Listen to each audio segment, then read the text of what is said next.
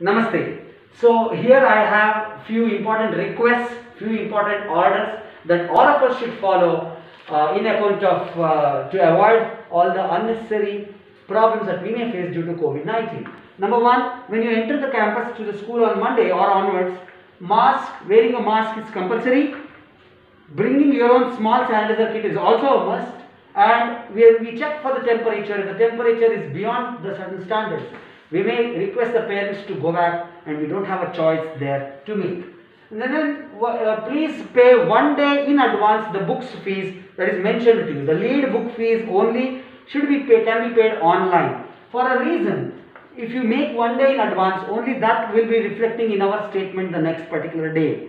So ensure you do payment one day in advance for books when you come and especially books, lead books, whatever you have mentioned, only that. The other part you can pay here through card.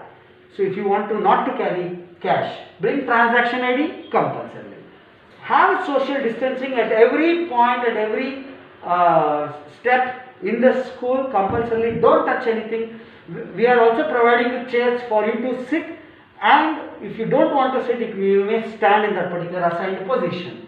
But remember, don't come the entire family, don't bring children, only one parent is allowed very strictly to reduce the social gathering.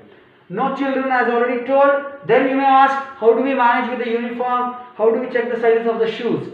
So you know the child size uh, of the shoes and of the uniform, bring the recent ones, based on that we can assess and buy. Thank you, thank you for your cooperation.